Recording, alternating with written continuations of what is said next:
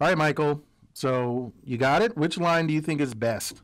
All right, so so if I choose one green and one red, that means Mhm. there's nine different possible lines, but they all separate the points. Uh, That is I'm pretty sure. I, I- you know, if I think they're intended to, even if they don't quite. But I think they do. I think they actually all separate the positives from the negatives. They're the intended positives to. on the upper right side and the negatives on the lower left side. So, I mean, the only one that seems sort of special is the middle one. If I choose the middle green and the middle red, it's kind of, you know, it's aesthetically pleasing. There's a lot of space on on each side. Okay. So, So, I, I'm going to go with that. But it's not clear, you know, again, best. If I was a photographer, that might be the best. hmm, you are a photographer.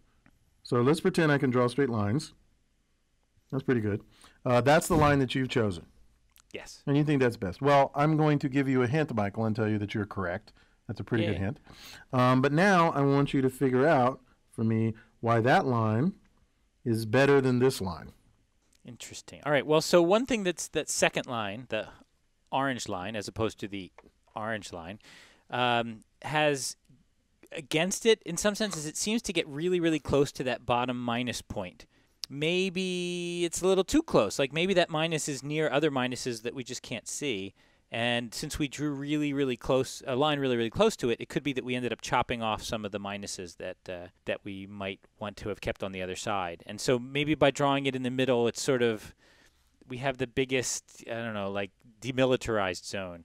No, I like that. So that is a very good explanation for why uh, you would prefer the middle line over the other line that isn't the middle line.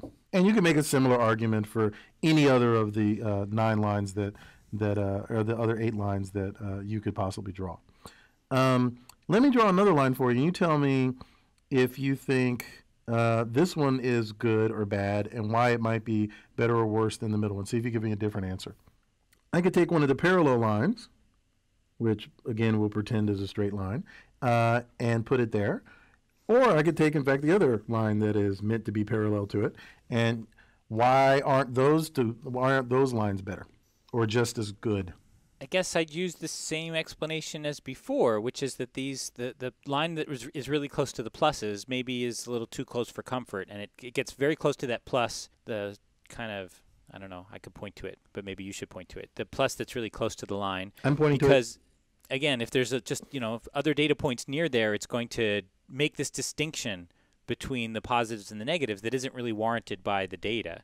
Right. So I can make the uh, the opposite argument with you, Michael, which is that listen, they all separate the points. They completely explain the data as we see them.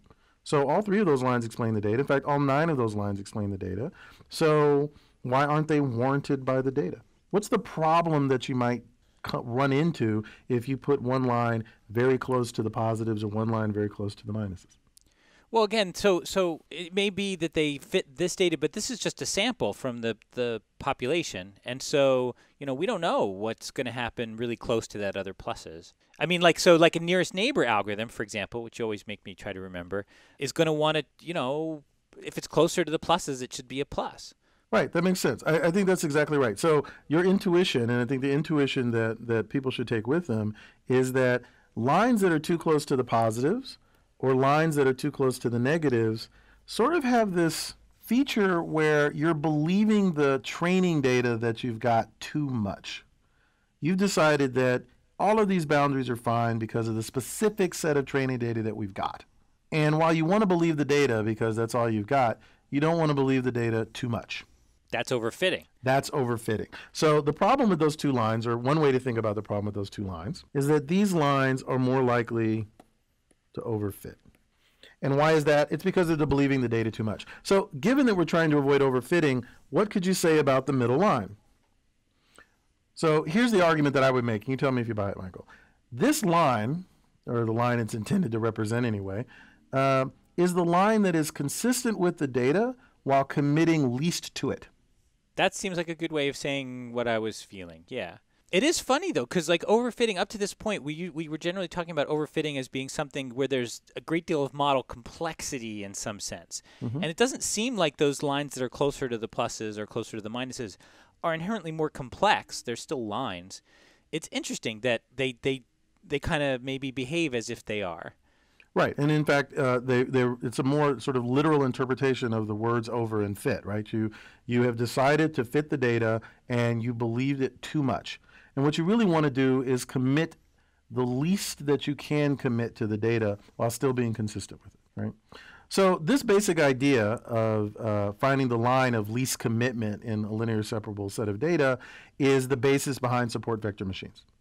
So what I want to do next is I want to see if we can come up with some equation that would help us define such a line. It's easy in this case because we're staring at it, but if you imagine these points were in 713,000 dimensions, it'd be pretty difficult to, to find such a plane just by staring at it. So let's see if we can kind of work out how you'd go about finding this least commitment line. Okay? Cool.